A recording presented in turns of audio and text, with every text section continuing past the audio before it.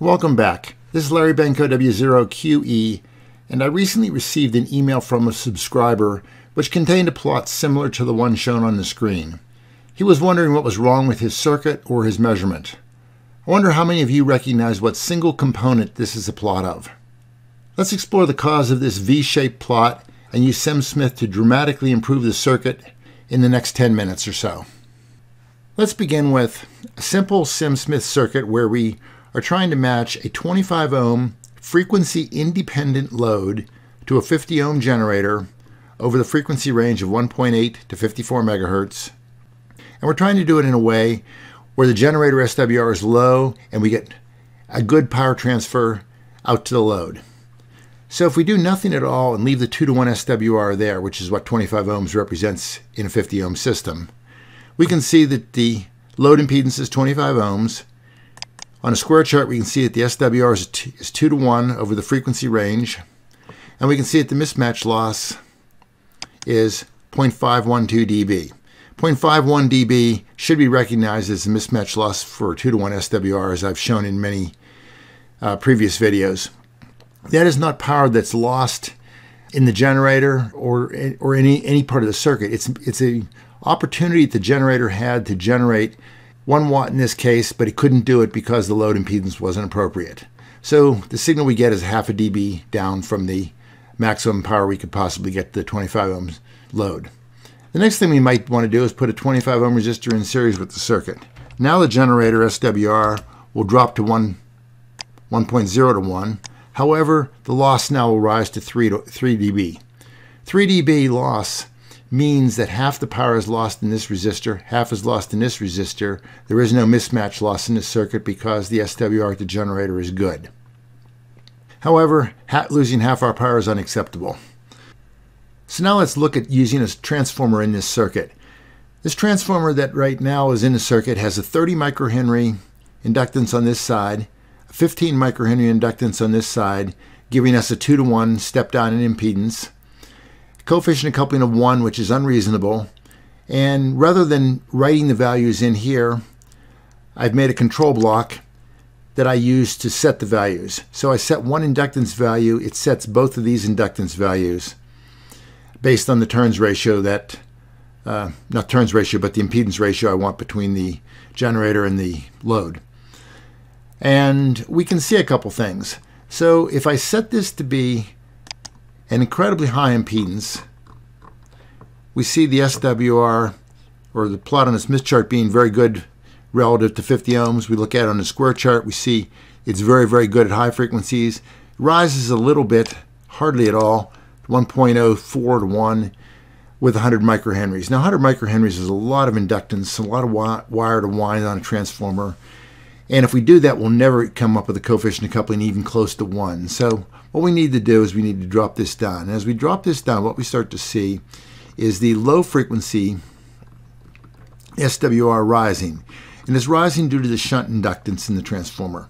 And this is one of the problems you have with a transformer. You have to pick an inductance that's approximately, you know, good enough to be out of the way most of the time, but not unreasonable. So let's say 10 microhenries to start with. At 10 microhenries, we've allowed the SWR the low end of the band, the low end of the frequency range, to come up to 1.55 to 1. That might be a little bit high, but that's kind of what we have. We look at it on a Smith chart, we, we see the plot from 1.8 to 54 megahertz looking like this. Now, let's make this transformer be a little bit more realistic. Point, uh, 1 to 1.0 coefficient of coupling is unreasonable. Maybe 0.99, 0.999 is still unreasonable, but what we see is we start to see this curve start to come up again. And as we drop this down, we see it continuing to come up. At 0.995, which is probably the maximum you could even ever achieve, we start to see the V shape that we saw in the original uh, on the original screen. If I, if I drop this inductance down a little bit, you can see by having less inductance in the transformer shunt, shunt windings, what I end up with is better high frequency response and worse low frequency response. And this is due to the fact with a coefficient of coupling of 0.995, but less inductance, I have less leakage inductance on the high end, but I have more shunt, um, a lower shunt uh, impedance due to the inductance on the low frequencies. So you have to kind of decide where you want this to be. But here's the V shape. The V shape occurs all the time in transformers. Let's just say it's annoying. Um, it's something that you can't get away from, but you can compensate for it. So let's even let this be worse than 0.995. Let's say you're only able to achieve 0.99 coefficient of coupling. 0.99 is a pretty easy thing to do with two windings uh, wrapped on top of each other.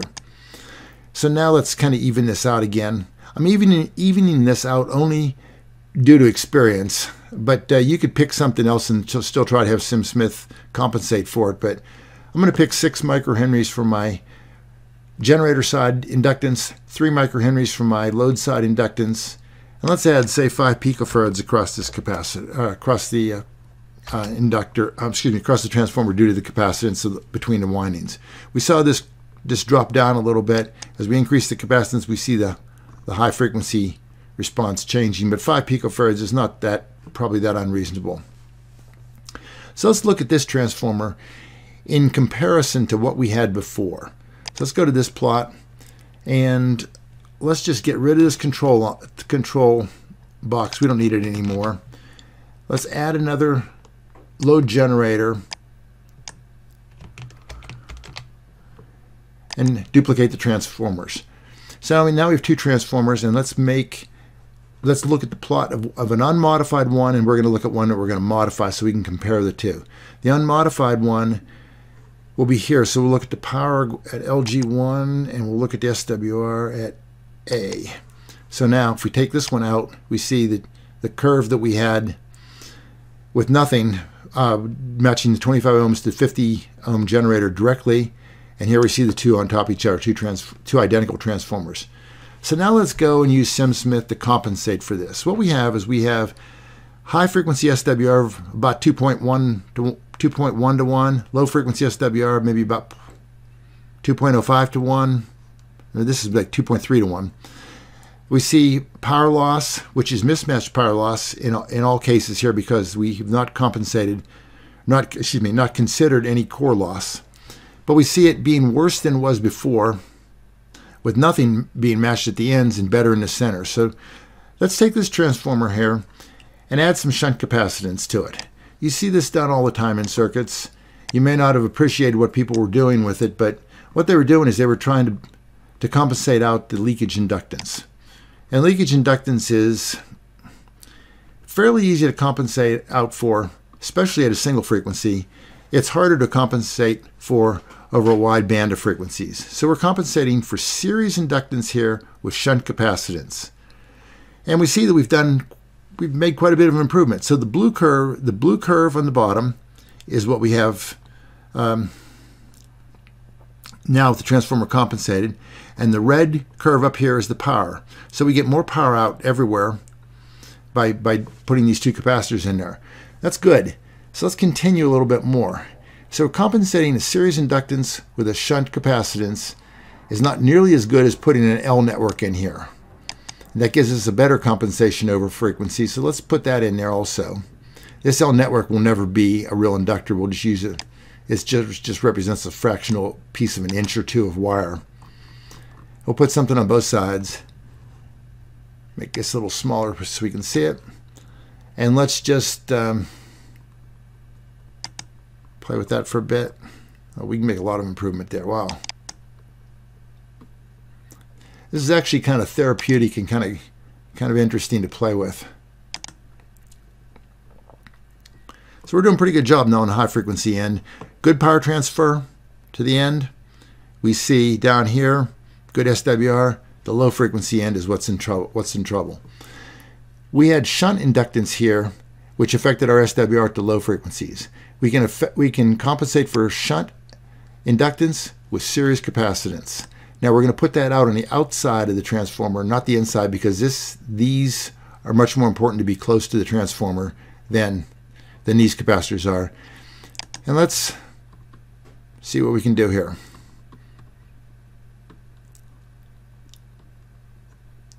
Now, the best we can get here is about 1. I don't know, 1.5 to 1, but we only compensated for it with one capacitor. Compensating for it with capacitors on both sides is better. Let's see what we can get if we do that. Uh, much better. Let's make this just a little bit smaller so the graph gets bigger. And let me play here for just a minute or two.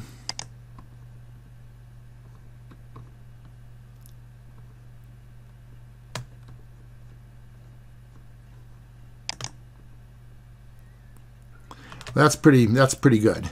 Let's see if we can make the, the high frequency end get a little bit better here.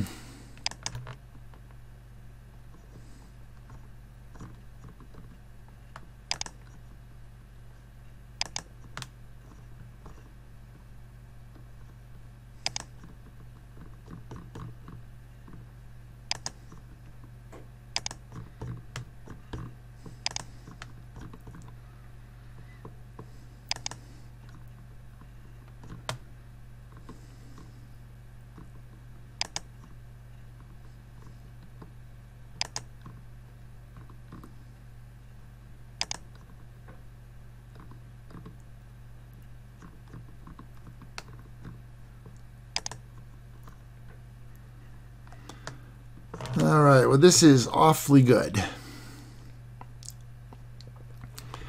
It's better than 1.05 to 1 over the whole frequency range, SWR wise. The power transfer is 13 milli, millidB, 0.1, 0.013 dB down at the high end, or no, 003, sorry, 003 dB, 003. Pretty darn good.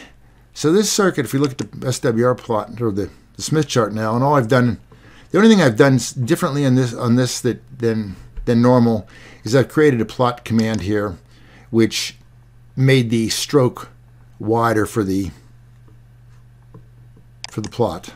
So if I took that off and looked at just plotting G here, which is what you normally plot, it's no different than this.